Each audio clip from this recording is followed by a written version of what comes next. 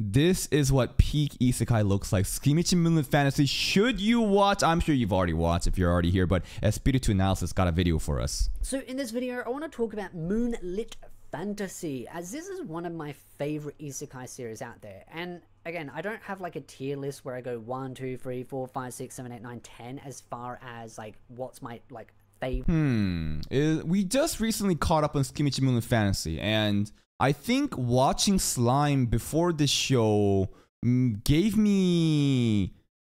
uh, like, The fact there are so much similarities because Slime took inspiration from Tsukimichi Moonlit Fantasy. For example, like I don't know, Veldora and Tomoe are pretty much the same person, right? There's there's a, there's a lot of different similarities in, in between the show because again, Slime did take inspiration from Tsukimichi Moonlit Fantasy. That made me think that the show was like kind of the same, so it didn't really speak out to me until episode 10, 11, 12, and beyond. And at that point, I was just taken away.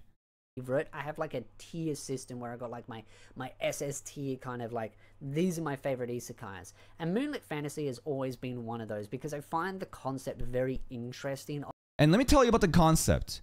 S- Apparently, season one of Moonlit Fantasy was literally the prologue. It's like tutorial. That shit didn't matter. It did matter, but in the grand scheme of things, that's not the main story. In season two, right now, we just started, and apparently it's two cours, right? So technically, we don't even know. Like, we're not even into like the bulk of the story just yet. We're like just getting started. of a main protagonist that has kind of been like shunned by the goddess herself kind of system of being like oh you're ugly i'm gonna throw you to the demons now you're, you're kind of like the anti-hero like you're not the bad guy but you're not also perceived as the good guy either Sometimes I'm wondering, yeah, I'm like, are we the bad people? It's like, okay, we got sent here, but there's no mission to slay the demon lord because the goddess thought that we're so fucking ugly, right? So we- we're, so we're just chilling, but sometimes these villagers uh, like perceives us like the humans like when we get to the first like human gate, I mean human village, they literally perceive Makoto as some kind of like demon king because he has so much sinister aura behind him that he had to lock away. And and and uh, diff- and then we proceeded to just like level that entire village, right?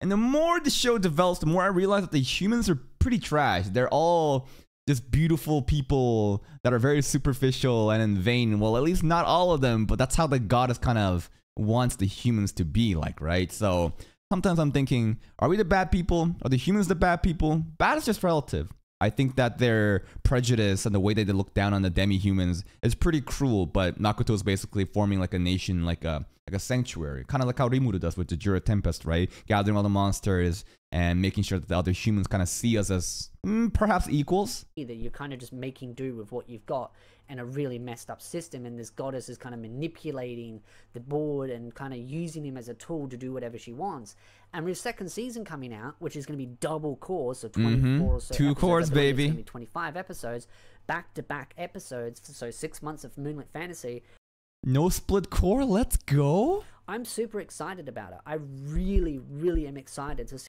A lot of people are very upset about the introduction of these two new heroes and how they spent two episodes on investing that. Like, I don't understand why people are so upset about it. I thought this is one of the most fascinating episodes, but people, because people just want to see Makoto doing Makoto things, they can't appreciate spending a little detour on two other disciples of the goddess, which are crucial to the overall story. I felt like all that all those episodes did was enhance the story, make me more immer- immersed, create the world building, kind of show a different perspective of the different things happening before Makoto got summoned by the goddess. I thought it just made everything even better. But most people were just fucking crying in my videos saying, "Oh my god, Tsukimichi Moonlit Fantasy is over. I can't believe they're doing this." Like, shut the fuck up.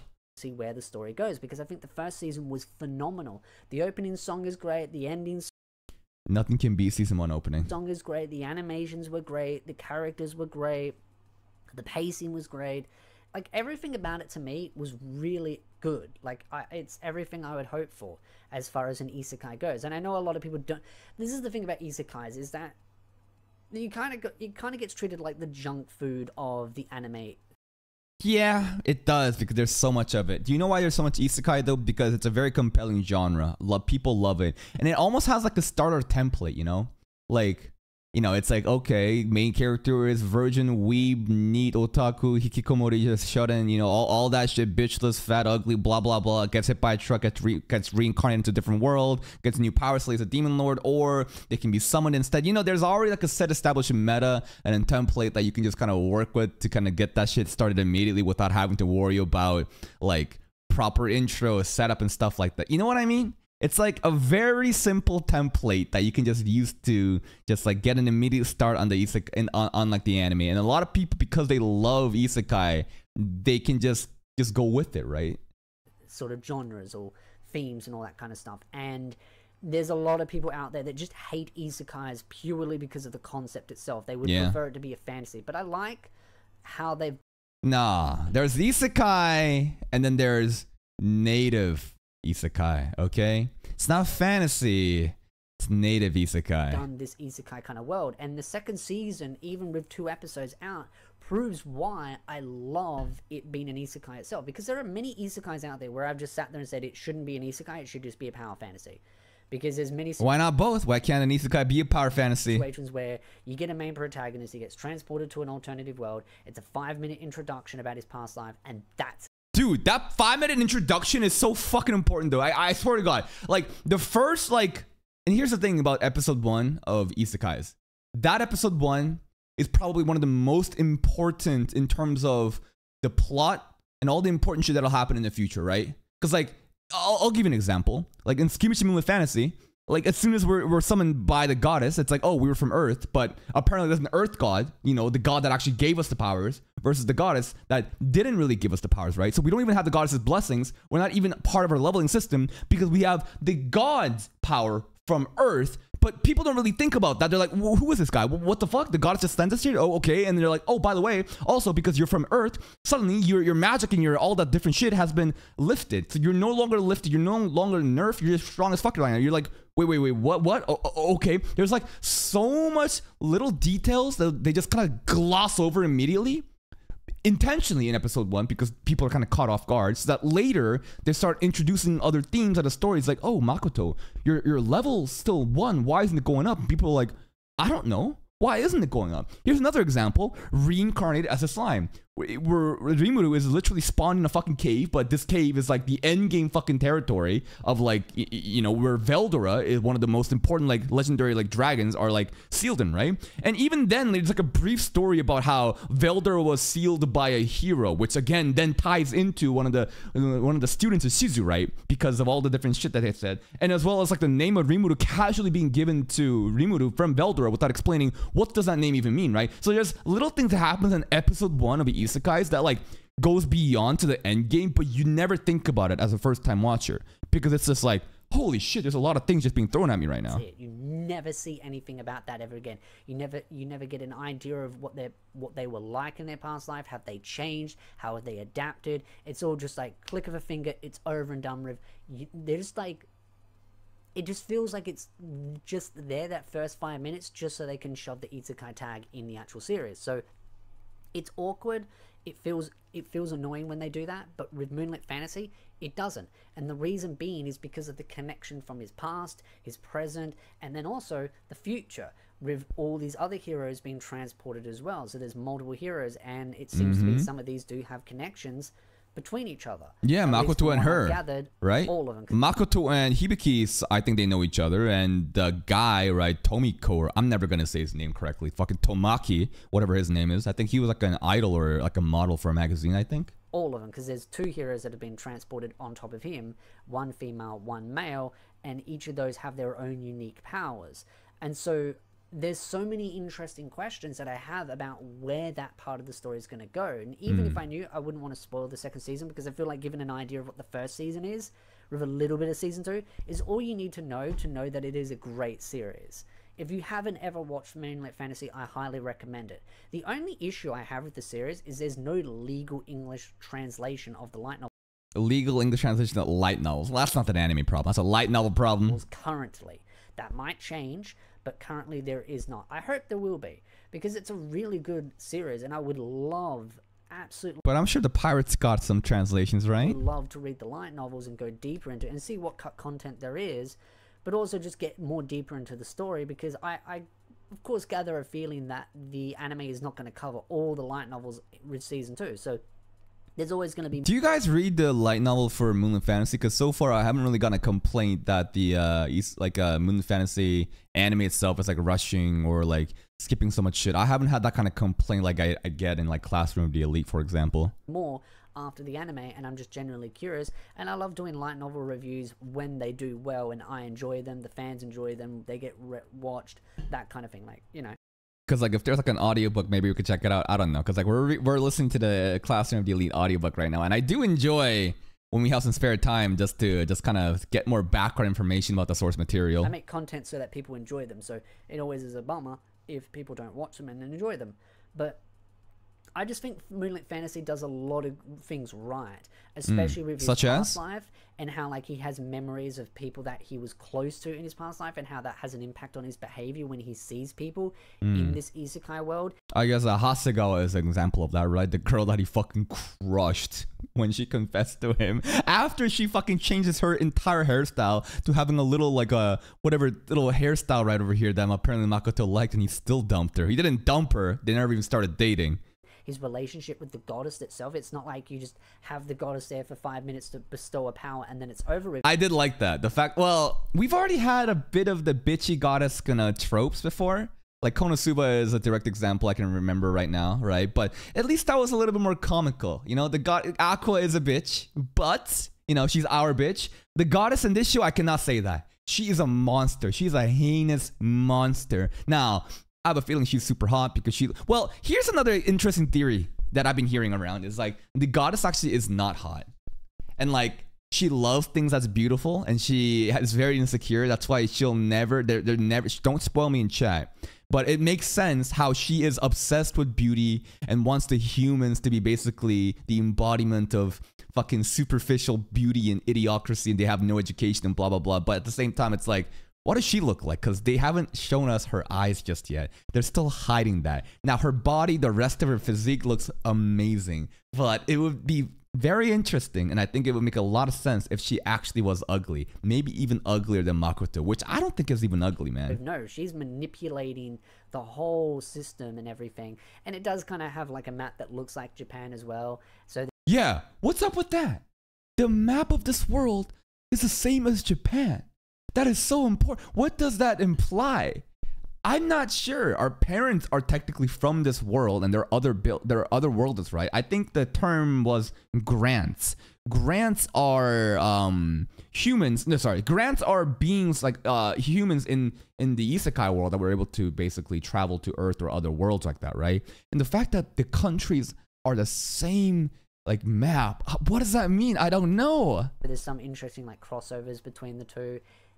And then you've also got the other god himself that helped him Yes. out. And the actual god from Earth, the moon god or whatever, that gave us all the powers, like Kai and that kind of shit. That's not part of the goddess's system. That's why we're still level one. That's why we don't like apply to whatever power scaling that they have. We're on a totally different system. And then you've got his past life with his family, his past life with his friends, and that girl that he had a crush with, or not really a crush. I, I think he kind of had feelings, but she didn't, and there's like, uh, all the manipulation. I, I, yeah, I, I'm sketchy with my memory there, just talking about it. But I think he's talking about Hasegawa and Hase- how Hasegawa got dumped by him. there's just so much potential for the story just from that component alone and i'm not even getting into the actual power fantasy itself how he is so overpowered how Yeah. he has to wear equipment to drain the power because of his That isn't crazy, huh? And usually most shows you have to get gears to like boost your power more and more. In this show, we have to get gear to like nerf us because we're too fucking strong. over the top like mana kind of And let me explain the mana part, right? Because I think a lot of people were um, theorizing and talking about it, and I do also agree. And it's like, yeah, we do know that Makoto loved doing archery back as an Earth too, right? But what I, but the reason I couldn't really kind of make that connection is like, why would he ha- already have mana back on Earth? The whole argument of how Makoto has such a deep pool of mana before even coming here was the fact it's a combination of him doing the continued, you know, focused training, which like, you know, basically makes his mana go away to almost like the point of suicide, just destroying oneself, just gone, and then coming back, and basically just stretching that basically just makes the mana pool grow bigger and bigger back on Earth already. But it's like, how would we already have mana on Earth? I just didn't really understand that part. But let's say that let's just say that you know mana already existed for him. He just didn't know that it existed, and he kept doing that, right? And then he gets transported to this other world. And remember what the god said. The god said that suddenly now because you're here, all your weights are lifted. You're no longer nerfed, right? You're stronger now. Everything should be stronger about you. So combination of those two things is why his mana pool is so fucking big that basically rivals the goddesses, right? Thing. The fact that he looks ugly, which I don't I don't think he looks ugly at all. I think he looks totally fine, but obviously you cannot make him too ugly. I think he's a solid 7 out of 10 character. But if you made the main character of your anime too fucking ugly, it's hard to market them. It's hard to kind of sell merch. It's hard to make other people kind of watch it because obviously you want to make them look a little good, right? So it's like an interesting little little what's the word? Uh contradiction happening between them calling him ugly, but it's like it's not too ugly. I don't think it looks ugly, but apparently in that world he looks ugly, so people kind of shun him, and then because Yeah. of the manner they get scared of him, and then he's made friends with all these monsters, dragon and the spider, and the spider having a bit I talk about that a lot time too, Rio, about how his parents are super hot because they're they're obviously humans. And like, okay, so like, all right, let's say the parents had their kids. Let's say the parents had Makoto back on Isekai world, and Makoto looks identical. Would that fucking matter? Would he be perceived as hot because he's from here? But if he was fucking born on Earth with the same look, would he be perceived different? I don't really know. bit of a relationship with some of these other heroes. Oh, the mana? I'm not sure. There's all these things going. I, yeah, you could argue that like the isekai parents, the grands, obviously they're the son of it, right? That's another component, right? Besides the archery and like transporting worlds to get the the ner- the weights lifted off of him, maybe his parents' genes because he's like a su- they're like super important people. Yeah, it could, it could make sense too. going on. And yes, you can technically classify this as a harem. I Harem. I'm kidding. Um, do we have a harem? Yeah, yeah, we do. Yes, we do. We start with Emma. We we get a pig, a dragon, and a spider, and much more after that. Yeah, yeah, it's a harem. it's really debatable because if you define harem as a main character in a show getting surrounded by a bunch of women that wants to fuck him, yes, I do agree this is a harem. Now, obviously, there isn't that kind of like relationship between those characters, and Makoto doesn't thirst over them, right? So that's why maybe Espiritu Analysis is kind of hesitating to say that this is harem or not. But yes, if you define a harem as a main character of a show, I don't care how he feels about the other girls. If he gets surrounded by women and all the women are just thirsty over him, I feel like that is indeed a harem. technically the definition of a harem is three or more girl, Three or more, good to know. Three, not two, it's got to be three or more. three or more individuals in love with the same person. Now the person doesn't have to reciprocate the feelings. I have to Gotcha. They don't have to reciprocate. because I always get yelled at in the comments. People going, "That's not how a harem works." No, that No shot. He gets fucking hate comments saying, Actually, it's analysis. It's actually more than three people, and the feeling cannot be reciprocated. is exactly how a harem works. It's three or more people Okay. in love with the same person, and it Yeah. does not have to be reciprocated. As Thank you for the, the definition of what a harem is. long as Now there's going to be a bunch of people commenting on his videos saying, Actually, it's not called harem, it's harem. three are in love with the main protagonist, that is it. That's all that needs to happen. He doesn't have to marry them all. He has, doesn't have to date them all. He doesn't even have to like them. He could hate them all, and it would still be classified as a harem because Is there a harem where the concept is that the main character hates the girls and shits on them? That would be an interesting, interesting concept, right? I wonder if a show like that exists. they are in love with him. But you've got the dragon and the spider, so that's two. I'm never really sure with the pig girl if she kind of has feelings. I kind of Emma, well, she smells nice. Mm, I, I do like Emma. I mean, she is a pig, but she's so cute and wholesome. I feel like she does. So I'm kind of like, hmm, that Hmm. technically would make it a harem if she is one of those, but I've never really looked up Now we're going to bestiality territory, okay? the tags to see if other places classified as a harem or not, because I don't really care.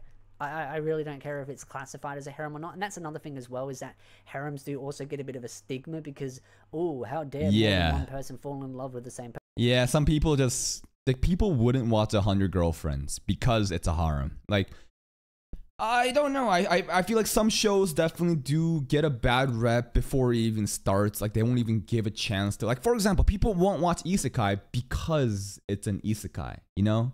So I feel like people that are kind of short-sighted that just kind of stigmatize shows and genres based on these preconceived notions that they themselves haven't even proved they don't even know. They just hear the bad things around and they avoid it. I feel like you're missing out, man. You should give it a chance. person, which by the way isn't really that religious people get offended. There's plenty of religions where a harem exists, man.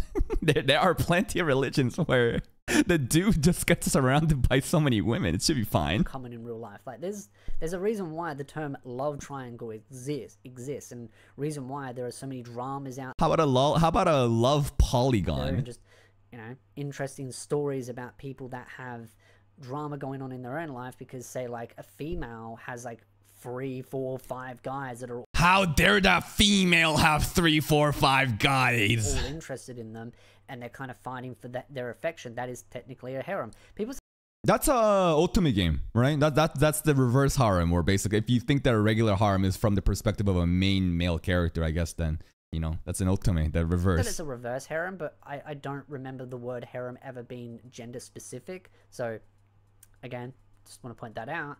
But you could call it a rever- reverse harem if you want to. Then you've also just got to look at the fact that people just have a bit of a stigma because of other series out there that have harem as a major key component of the story. But 100 to me, the harem doesn't matter. It's just a fun part of it, and the interactions between the dragon and the spider, and them kind of vying for his attention and affection, and you know they've definitely Makoto straight up does not give a fuck. He he's kind of mean to Mio and Tomoe at times. He just straight up finds them annoying, dude. It's kind of funny. indicated that they kind of want to get in bed with him and do some fun activities. The chemistry from those characters I absolutely love, and also the chemistry from other side characters as well. Those that he interacts with from the human side, the beast side, the world itself, and how it, it kind of meshes the fog.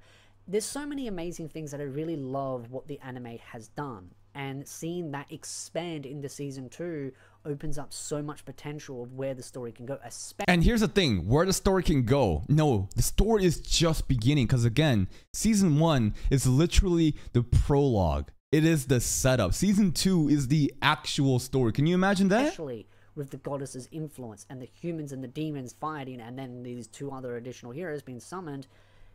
It's just mind boggling where it can go. And this is the thing season one was a single cour, season two is a double Two. cour. Clearly, there is a lot of interest in the series. Now, as far as other things go, like merchandise and all that, I'd be very interested to see if that expands more further. But I really, really, really want to see a light novel adaptation done. If there is a fan translation out there, I might give that a read. Definitely tell me in the comments down below if there is one, and I might go hunting for it just to read it because I really want to read the light novels at some point and definitely talk about them in more detail about what I think of the story and each component of the volumes. And I'd love to know your thoughts in the comment section down below. What do you think of Moonlight Fantasy?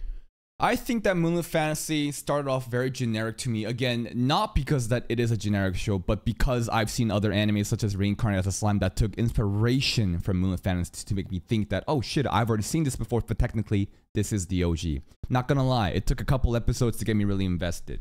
Mm, the interactions between Tomoe, Mio, Makoto, and Emma, it's kind of funny at times, but it's like, where is the moment that really gets me invested into this show. I think it was the last arc. It was starting from whenever Fragment of Tomoe died. It's when the humans, the blonde girl, started to do that shit, right? And that was the point where Makoto basically showed his true nature.